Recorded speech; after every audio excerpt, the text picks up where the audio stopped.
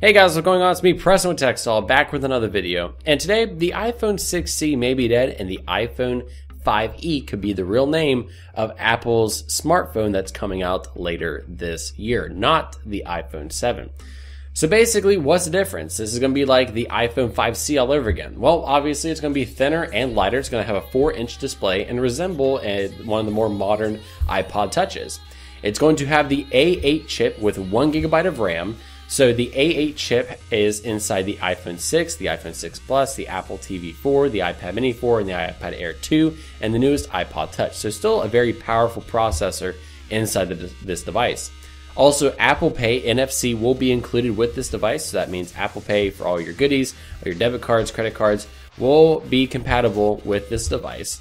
Also will come with either 16 or 64 gigabytes of storage. It makes sense not to release a 128 gigabyte option of the less powerful device. So good move there with Apple.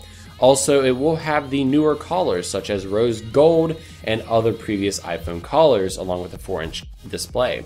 It will have the iPhone 5S camera, so the camera won't be as powerful. However, the iPhone 5S still has a very powerful camera.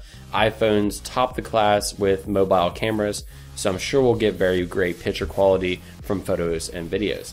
Also, VoLTE, either known as Voice over LTE calling, will be supported as well with select carriers and the, within the US and nine other countries.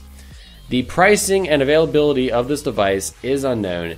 It's possibly going to release around the Chinese New Year and will be released shortly before the iPhone 7 release.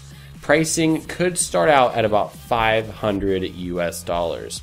So, what do you think? Do you think the 5e is going to be the device that Apple will release this year before the iPhone 7? Let me know inside the comments below and be sure to subscribe to TechSolid if you haven't already.